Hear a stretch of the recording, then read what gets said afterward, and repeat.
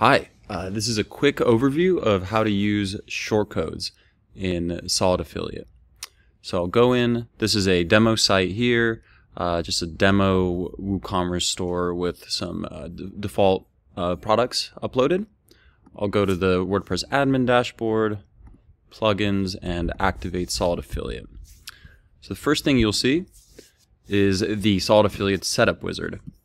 And on the last step, there's this step which will go ahead and create a page on your on your site and then embed the, the affiliate portal shortcode. So I'll see I'll show you what happens. So we can change this link to anything. Let's call it affiliates. Create this page. So now when we go to our site slash affiliates, you'll see that the affiliate registration form is right here if we go ahead and log out, I'll go to another incognito window where we're logged out. You'll see that the login form is also here.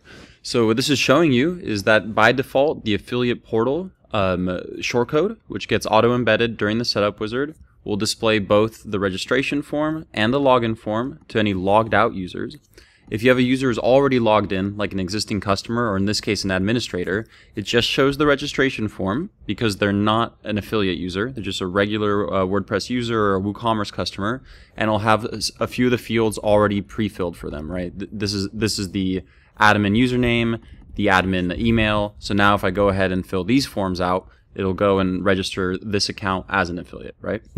So if we go and look, um, if we log in as an admin again, and we just look at our standard WordPress pages, you'll see right here affiliates, and and you can see that uh, it, it got it also got tagged with the affiliate portal tag. This was due to using the setup wizard to automatically create this page, which is what we recommend for the vast majority of use cases. So now if we go and you know see what what this page actually did,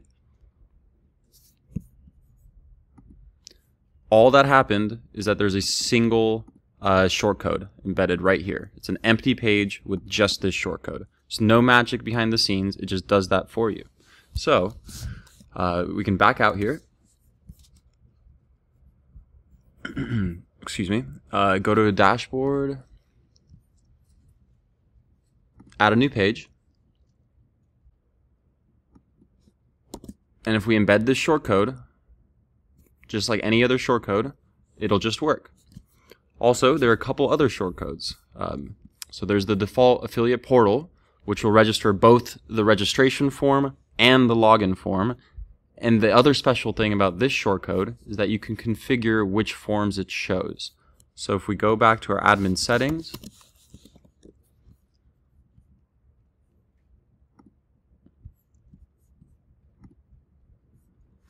you see here, this is the default shortcode and right here, which forms should be should show when a user is logged out, right? Do you want to show both, only the registration form, or only the login form? So you can configure that one solid affiliate uh, portal shortcode to work in this way. If you want more fine-grained control over your shortcodes and over your affiliate program, you just use these other two. Um, so there's a solid affiliate portal login and solid affiliate portal registration and these two shortcodes will individually render the login form and the registration form. So uh, if you want a demo of that, uh, you can look at our own site, um, solidaffiliate.com, excuse me, solidaffiliate.com, and where we use our own, you know, we use our own plugin to, to run uh, our own affiliate, our own affiliate program, right? So if you go here and you say become an affiliate, you know, first we have this, you know, pretty little landing page, which is standard page. We used Elementor to make this. Um, and then if you click become an affiliate, you have this registration form. And if you go back and say, you know, already an affiliate, you get this little modal and there's the login form. And this was very easy to create. Behind the scenes, we're simply using, we made a page here, solid affiliate affiliates, and we, this is a regular WordPress page that any designer can make. Um, and then we made another page, solid affiliates join, again, very simple page. And right here, we just stuck the, uh, the shortcode in. Solid affiliate portal registration shortcode here. And then on another page, we have this modal that pops up using, you know, whatever uh, page builder we have. And it doesn't matter. This will work with literally anything.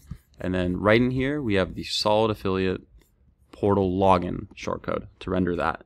And that gives us the fine, fine grain control. Uh, so I hope this is helpful to anyone watching, um, and we hope they have a solid day.